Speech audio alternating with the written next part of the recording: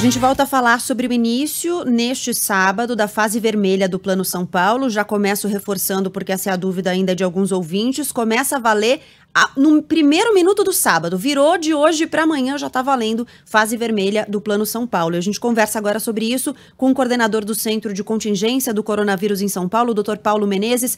Muito obrigada por conversar com a Band News FM. Obrigada pelo tempo do senhor. Bom dia, Gabriela. Bom dia, Sheila. Bom dia. É um prazer estar aqui conversando.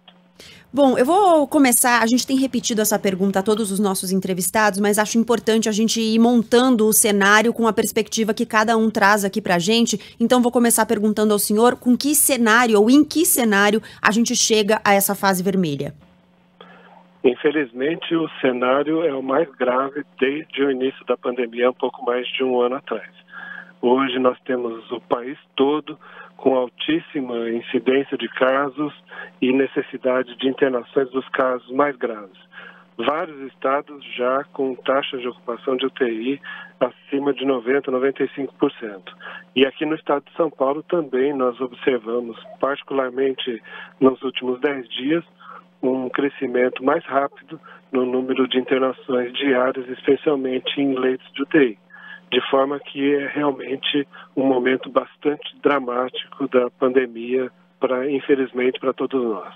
Que elementos têm contribuído para a sobrecarga no sistema hospitalar, doutor Paulo, é, em relação ao número de internações? O aumento disparada no número de contaminados, quantidade de jovens que têm procurado os hospitais também e têm ocupado esses leitos de UTI, transferência de pacientes de outros municípios, uma combinação disso tudo, o que é exatamente?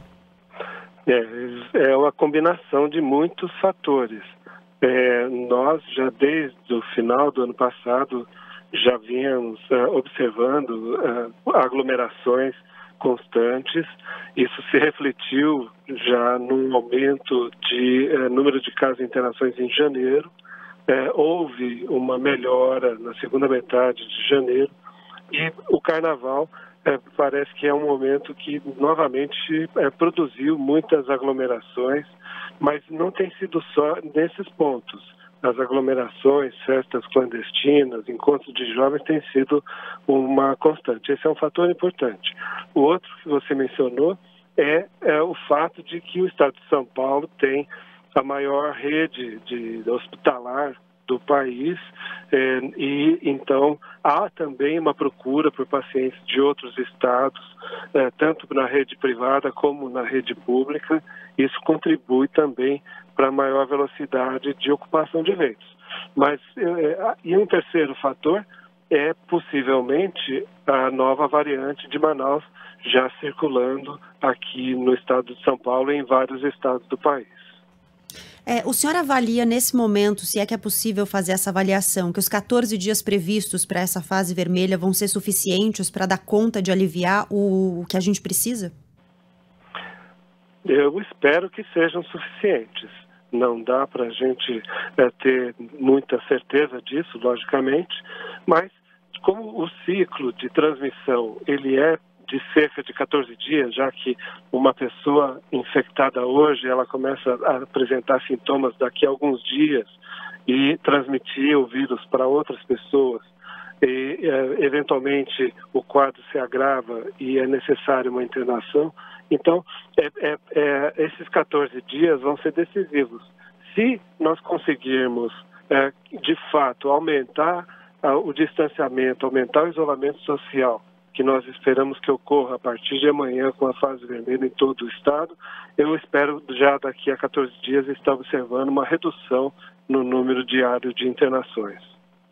Doutor Paulo, há muitas dúvidas dos nossos ouvintes. É claro que a gente aqui na prestação de serviços tenta, na medida do possível, atender essas dúvidas, esclarecer o que pode e o que não pode funcionar nessa fase vermelha. Há muitas particularidades, há muitas exceções, então pontualmente a gente vai informando e tentando é, esclarecer essas dúvidas dos nossos ouvintes. Mas um ouvinte aqui escreve: haverá restrição de circulação? Não vi notícia ainda sobre isso. Haverá blitz, recomendação das pessoas. É, o senhor tem informação a respeito de como se dará a fiscalização, verificação dessas regras colocadas na fase vermelha? Desde a semana passada, já há uma intensificação de fiscalização é, que é feita pelas vigilâncias sanitárias dos municípios e do Estado. É, é feita também uma fiscalização de estabelecimentos pelo PROCON e a Polícia Militar também tem feito uh, fiscalização e tem, tem reduzido as aglomerações. Isso vai continuar. É, o primeiro recado que eu daria é de que as pessoas que não precisam sair de casa, elas devem ficar em casa, não há por que ficar circulando nas ruas, é, se não, há, não for por necessidade de comprar alimento, de ir numa farmácia ou de trabalhar num setor essencial fora essas situações, todos devem, nesses próximos dias, ficar em casa sem circulação. E a partir das 20 horas tem o chamado toque de restrição, onde a fiscalização de circulação é intensificada. A gente está conversando aqui na Band News FM com o coordenador do Centro de Contingência do Coronavírus em São Paulo, Dr. Paulo Menezes. Dr. Paulo, queria saber o seguinte: a gente tem insistido bastante em um ponto que é o transporte público. A gente fala sobre as aglomerações nas festas, obviamente que elas não devem acontecer, não podem acontecer, das aglomerações em locais públicos. É, isso acho que já é um ponto de consenso que todo mundo já entendeu, ainda que não siga, que não possa, não pode acontecer. E a gente fala repetidamente que a gente tenta restringir algumas coisas, mas em outros lugares não há uma atuação direta ou não há um fortalecimento de medidas para que os, a, as aglomerações é, sejam menores ou sejam é, não haja aglomerações, como no caso dos transportes públicos. E toda vez que a gente questiona as autoridades sobre isso, há uma narrativa, há um discurso de que, puxa, mas a gente já identificou que não é no transporte público que acontece o maior número de contaminações, ou não é no ambiente X ou Y que acontece o maior número de contaminações. A gente consegue saber isso? A gente consegue entender onde é que acontece o maior número de contaminações? A gente poderia afirmar, por exemplo, que no transporte público não acontece o maior número de contaminações? Como é que a gente monitora isso? É, uma das formas de, de monitorar isso é através de estudos específicos. Recentemente, por exemplo, a Prefeitura de São Paulo fez mais um inquérito sorológico acompanhado de questionários que perguntavam para as pessoas o que elas tinham feito eh, nos últimos dias. E nesse inquérito ficou evidente que eh, as pessoas que responderam positivamente para eh, aglomerações, para ter ido a bar, para ter ido até em, em restaurantes, elas tiveram maior chance de estar positivas para o coronavírus. Então, é, é lógico que o transporte público é uma situação que tem algum risco. Mas no transporte público, pelo menos as pessoas, a grande maioria, está preocupado, está vestindo máscara, está procurando manter a higiene, então o, o risco é me, muito menor do que na situação, por exemplo, do bar, onde as pessoas estão sem máscara e conversando alto por um longo período de tempo. Uhum. Doutor Paulo, é, foi mantida a decisão de as escolas é, atenderem a um pedido que havia de pais, é, mas de uma parte dos pais, e um entendimento de que as aulas presenciais poderiam ser mantidas. Não são todos os pais que concordam com isso, e, em geral, os professores ou profissionais da área da educação discordam dessa tomada de decisão de manter aulas presenciais. Ocorre que um dos argumentos é especialmente para aquelas crianças menores é, que não têm onde comer, é, acabam se alimentando, tendo como única possibilidade de se alimentar a escola. Né? Especialmente os pequenininhos, eu me refiro aqui. O senhor concorda com a decisão de manter as aulas presenciais ainda? É o caso mesmo? É, essa é uma discussão que ainda se mantém no centro de contingência para que haja, haja novas recomendações nesse sentido? É, eu, eu, concordo com a decisão que foi tomada agora de manter algum nível de atividade presencial nas escolas, especialmente para os alunos mais necessitados e para as crianças. É, esse grupo foi extremamente já prejudicado pelo período tão longo de ausência da, da frequência presencial nas escolas. As crianças, por exemplo, elas precisam de é, contato com outras crianças para o desenvolvimento, desenvolvimento cognitivo, desenvolvimento de habilidades sociais desenvolvimento emocional. Então, é, elas têm sido extremamente prejudicadas. É, o ambiente das escolas bastante controlado, hoje nós temos no máximo a possibilidade de ocupação de até 35% de alunos presencialmente. Ele, ele também é um ambiente que é, reduz é, o risco consideravelmente. A grande maioria das infecções que têm sido observadas, por exemplo, na rede estadual, é de é, contaminações que ocorreram fora do ambiente escolar. Dessa forma, eu, eu entendo que é preciso proteger o desenvolvimento das crianças. É, pode ser que daqui a pouco nós tenhamos que rever essa situação, mas nesse momento eu entendo que é importante fechar outros setores e manter algum mínimo de funcionamento eh, nas escolas em função desses aspectos que eu mencionei. É, por fim, queria perguntar ao senhor, fazer a pergunta de um ouvinte, na verdade, que está bastante preocupado com, acho que como todos nós, é com a, o alerta feito ontem pela Fiocruz de que as variantes já respondem aí, as cepas de Manaus, da Inglaterra e da África já respondem pela maioria dos casos que estão sendo monitorados no Brasil. Em dois estados, né, no Paraná e no Ceará, esse índice de prevalência de uma das mutações superou 70% na amostra, é, nas amostras. Isso gera algum tipo de preocupação excedente? É, isso demanda revisões mais frequentes dos protocolos e das tomadas tomadas de decisões. O que isso nos traz a partir de agora? Sem dúvida que as variantes de preocupação têm esse nome porque, de fato, elas trazem questões uh, novas e sempre uh, importantes. Uh, uma delas é a provável maior transmissibilidade. Então, essas mutações chamadas de preocupação, elas, em geral, têm uma capacidade maior de de uh, o vírus se transmitir de uma pessoa para outra, que é o que parece que está acontecendo não só nesses dois estados, mas uh, em todo o país. Aqui no estado de São Paulo nós temos a variante de Manaus e a variante uh, britânica já identificadas também.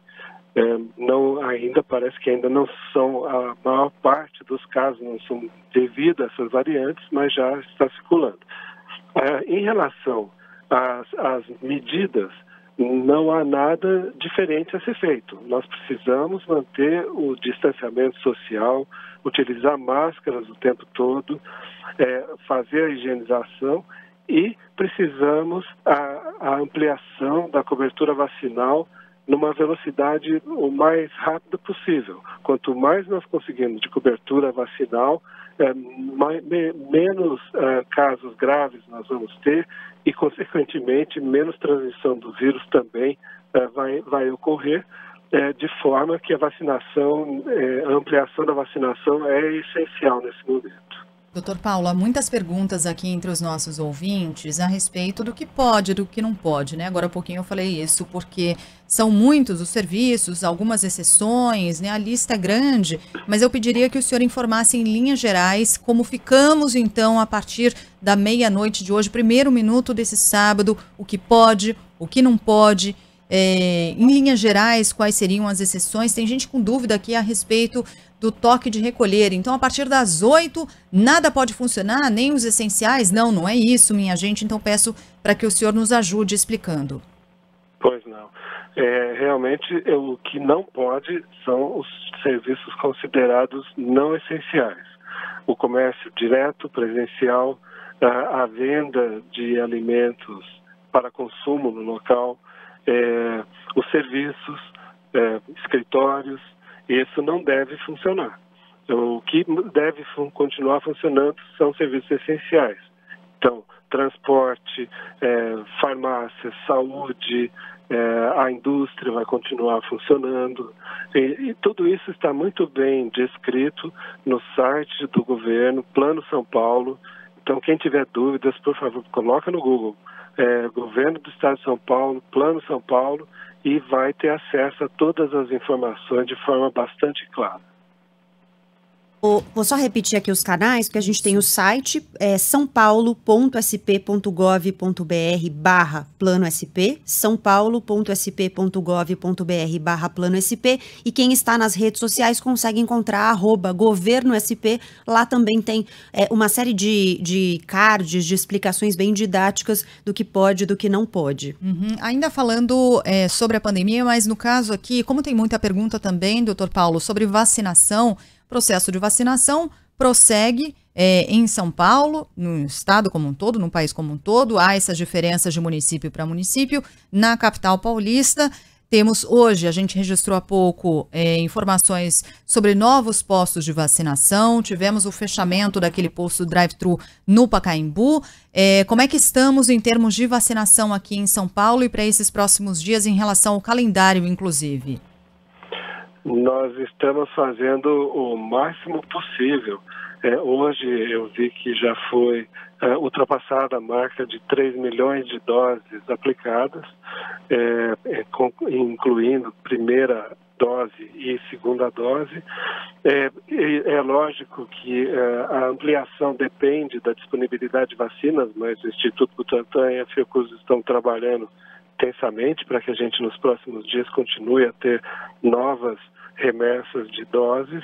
É, aqui no estado de São Paulo, ontem eu fiquei bastante satisfeito de ver que o estado conseguiu ir para o segundo lugar em termos é, de proporção da população vacinada, quase 5%. É possível que hoje a gente consiga é, ultrapassar os 5%. É abaixo do que a gente gostaria de ver, mas é o que tem sido possível em função das vacinas disponíveis.